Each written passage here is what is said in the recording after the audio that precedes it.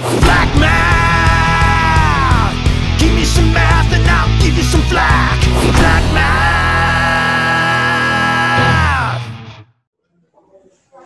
Let's do some review. Uh, remember when we had a number like this, 6.32 times 10 to the seventh. Well, how do I write this in standard notation? I didn't Remember? What? move the decimal over seven places. Yeah, which way? Uh, left To the right. right. To the right? Right. You know this trick? Yeah. Left. Okay. Got it. So one, two, uh-oh. We ran out of digits. What do we do? I zeros. So how many zeros? Uh, it's five. Yep, because we've already gone two, we need to go five more. One, two, three, four, five. So six, three, two, zero, zero, zero, zero, zero. Put the commas in. Okay. So this is the same number. So this is easy to do. We just go that many spaces, right? Um, but going backwards is really the key to this. So you need to be able to look at this number and tell me how to write it in scientific notation. Okay, so remember what's the first thing you do?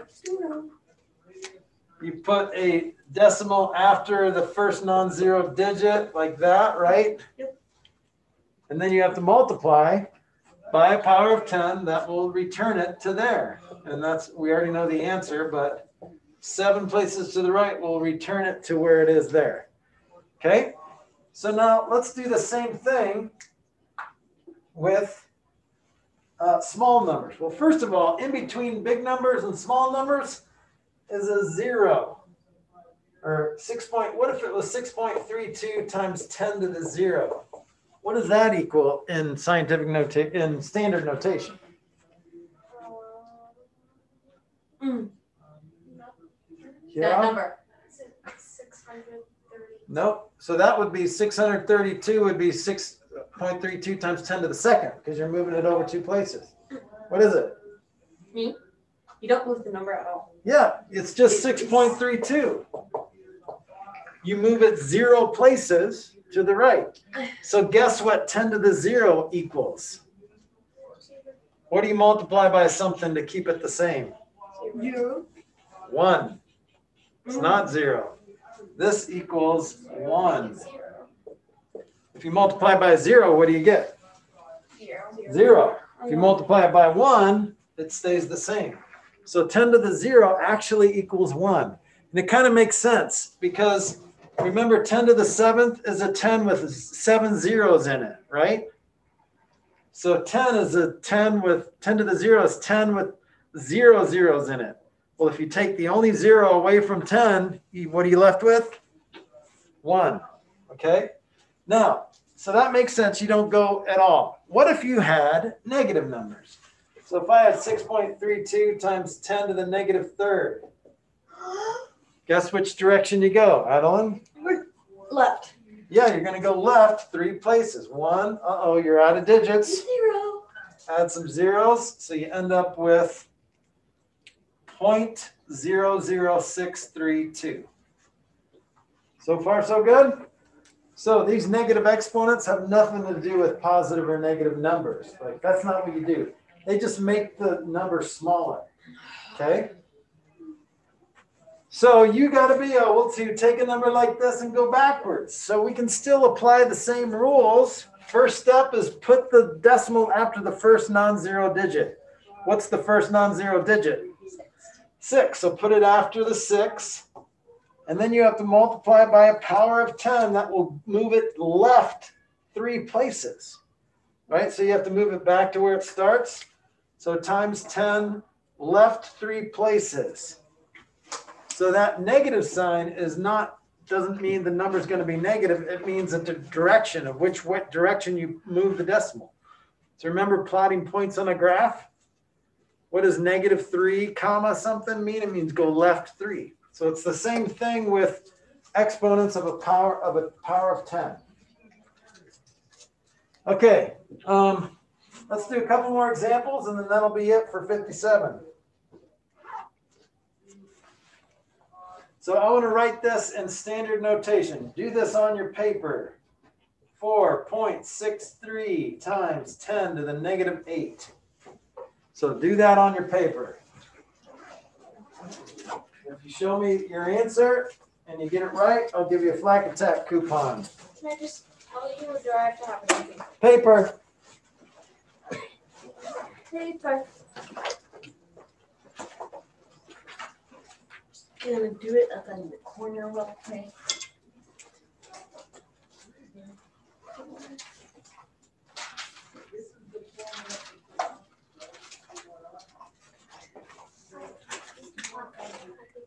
Okay. Oh, I just forgot to put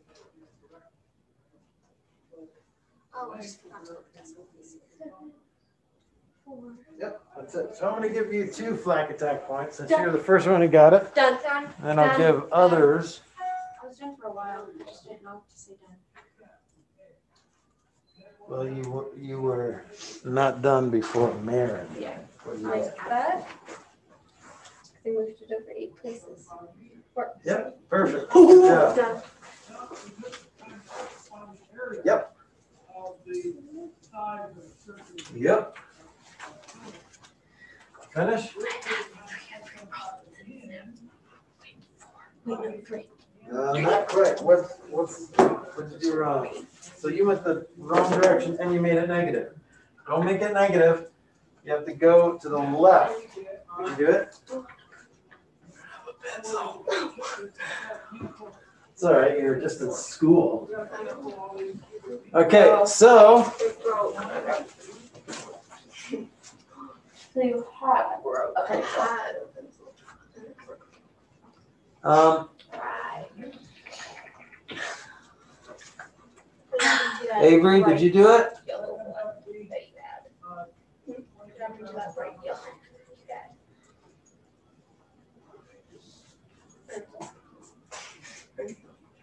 Pink. Okay, um, so who got it? Grace got it. I got it. I got it. Um, Addison, Alan. Is that a ski?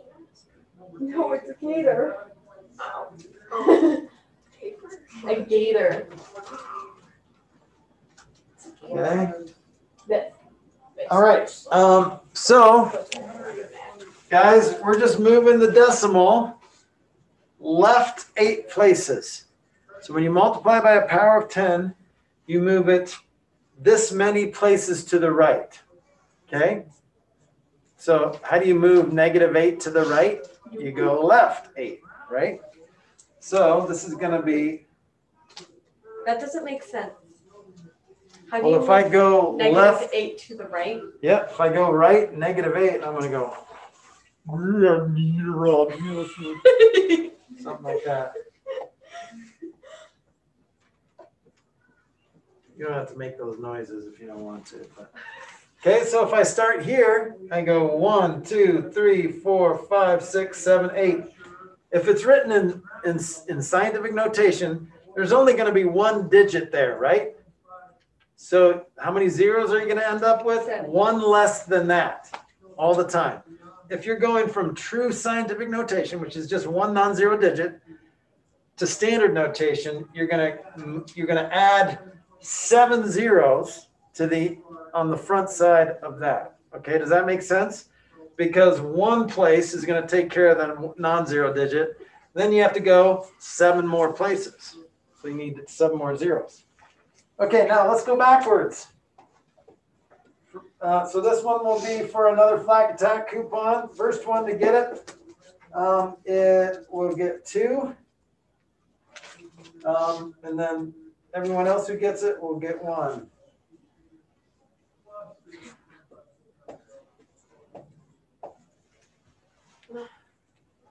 Wait, we have to do it to normal Yep, notation. no, stay on it to scientific notation. So how do you write that in scientific notation?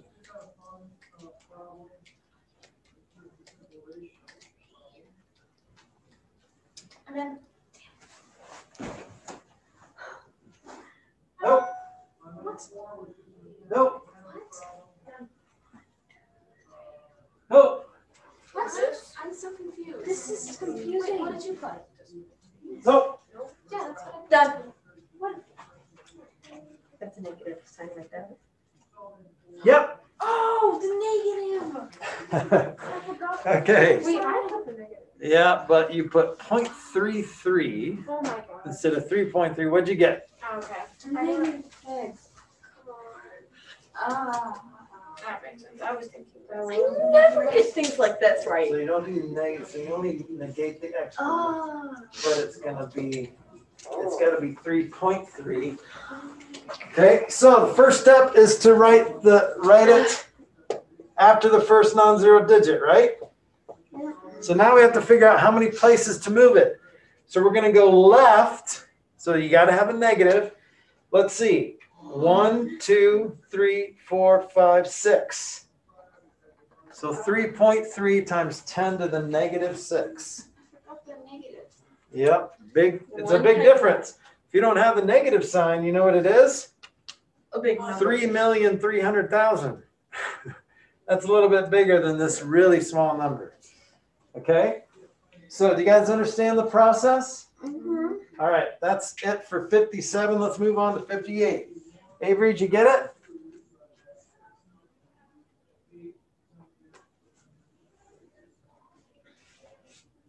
All right, think she just turned on the Zoom call and then was playing video games or something. All right, so I'm who not playing video games. All right. So you, you're welcome to participate in these two and get flack attack points, okay? Did you get 3.3 times 10 to the negative 6? Yeah, I did. All right, I'm going to give you a flack attack point. Good job.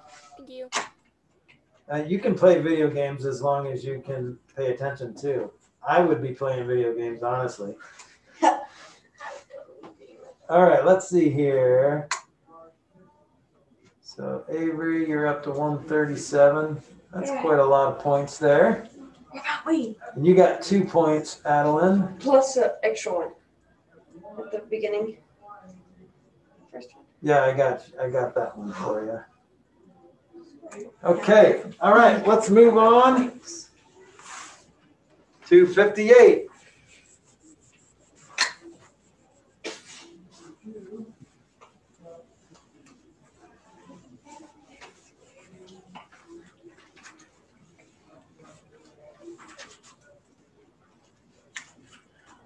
All right, um, let's see here.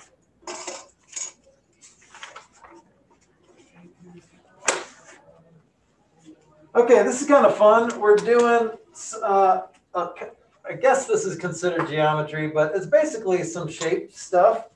So we're going to talk about the line of symmetry. Have you guys heard um, the, the expression um, that's very symmetrical? What does that mean? Uh, Kiara, what does it mean? Isn't it like it when something like looks like another thing and they're like close together? Um, kind of. Anyone else? Yeah. Is where there's a line straight through the middle or something that both sides are like mirroring. Yeah, so they the two things look together, but it's on the same thing. So like my face minus a mole or freckle is pretty symmetrical. All of you guys are symmetrical. Okay? The outside of our faces, the outside of our bodies are usually symmetrical. The inside of our bodies is where everything gets really messy. Right? Like you got your liver on one side and your pancreas. I don't know anything about that stuff, but I used to. But for the most part, we're pretty symmetrical people, right? Because the, left side usually looks like the right side uh, and things like that. Okay, so it's symmetrical. So there's a line which is kind of like the mirror. So the line says, okay, everything on this side of the line looks is the mirror image of everything on this side. So for example, if I drew a triangle like this, can you guys tell me the line of symmetry? Adeline? it starts at the point and goes straight down. Yep, so right here is the line of symmetry, okay? Now technically, I could look at this, look at this. You see how this part of the triangle is the same as that part of the triangle? And then there's one more. The other way. So this one has three lines of symmetry. Okay? Now that only it's only because this triangle is a nice equilateral or equal angular triangle. Okay? So, but not all shapes are like that. What about this? How many lines of symmetry do you think I can draw in this shape? How many lines do you think? Do you know, Addie? Okay. How would you draw them? Like from the corner From the corner? Okay. and then from the other corner. From the other corner, so let's do a different color. Then where else? So um, that's two. Split in half. Yeah, and then split in half the other way. Yep, so there's one and there's one. So there's some good good four lines of symmetry. That's awesome. All right, does this make sense? Yeah. Okay, now uh, the next thing we're going to talk about is what's called a function, which is funny because um, it has nothing to do with these lines of symmetry. It's just what Saxon does every once in a while. The line of sim- lines of symmetry was an, a concept that was pretty short and easy. So let's just fit in another concept. That's what they're doing here. All right. So when I used to go to summer camp, um, I used to. Uh, uh, every at the end of the year, at the end of the week, um, each cabin like put on a skit. So that the group that was in my cabin, we had to put on a skit, and it would be a funny skit or whatever, and then they would perform. Then there would be a contest, you know, at the end of the week, whoever had the funniest skit or the best skit.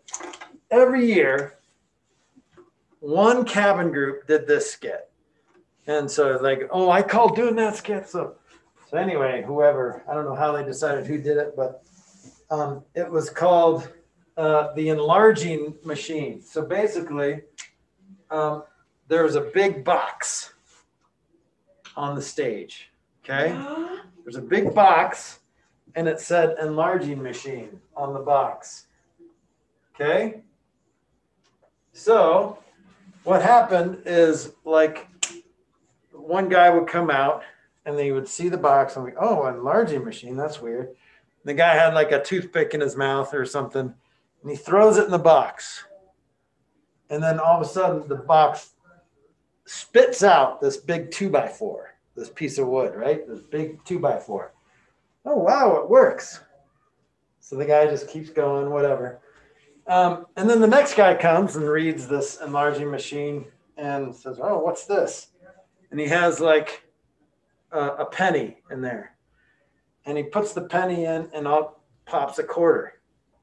And he moves on, which he's a moron, right? Because what do you do? You put the quarter in, you get 50 cents. You put the 50 cents in, you get a dollar. You stay there. All right. There's no limit on this enlarging machine, but he just left. I don't know why. Okay. And then the third guy comes by and he said, Oh, this looks stupid. So you know what he does? is he spits in the box. So what happens? So what he did, and this is what happens every year at this this camp. Um, so the guy, there's a guy in the box. If you didn't figure it out already, there's a guy in the box. It's a big box. He has a bucket of water, and he throws it, and the guy who spits ducks, and everybody in the front row gets wet. It's a funny skit, and everybody loves it. Everyone knows it's coming. So they get ready. They all want to be in the front or whatever. But anyway, this is a function. You put something in, and then something else spits out. Okay? So it depends on what the function does. So, for example, if you double it, so if you put in a four, what spits out? An eight. So let's say the function is to multiply by two. What happens if you put in a five? Ten. sits out as a 10. What happens if you put in a, uh, a 7? Fourteen. 14, okay? So each function has a function. So if you put something in, then it'll double it and spit it out. Yes. Kind of reminds me of the nuggetizer. Yes. Did I already show you the nuggetizer? Wait, what's that? Did Did Daniel show you that? Okay, What's yeah. Um, I might show you the nuggetizer video before you leave today, but It's um, horrifying. it is horrifying. If you were animal conscious, you can imagine what the nuggetizer machine does. It nuggets every animal you put in it. Yeah, um, but we'll talk about that later. I don't want to give you nightmares. I want to Okay. see it.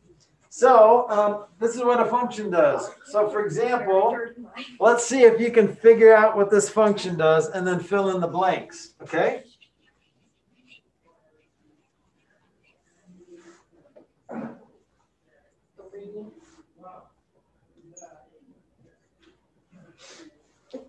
Okay, so I want to figure out what the seven is going to do in this function. So let me show you what's happening.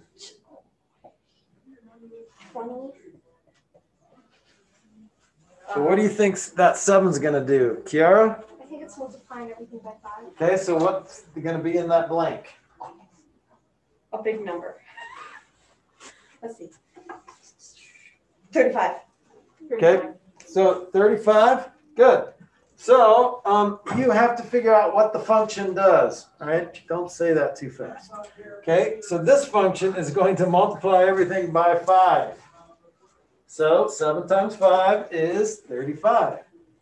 So first step, figure out the function and then apply it to what's missing, okay? All right, you guys want to try another one? Yes. Sure. All right, let's do. get blackjacks for it? Uh, I think these are too easy. What do you think? Do you think they're too easy? Unless you make it hard, I think they're too easy. Zero, one, three, five. All right.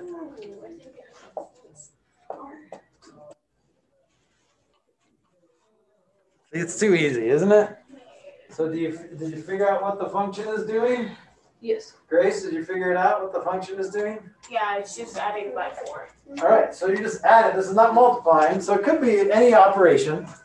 You're adding four, so what's our missing blank gonna be? Jake. Five. Five, good. All right, pretty simple, right? Okay, that's it. That's all I got. Well time do you have done. Flack math, give me some math and I'll give you some flash.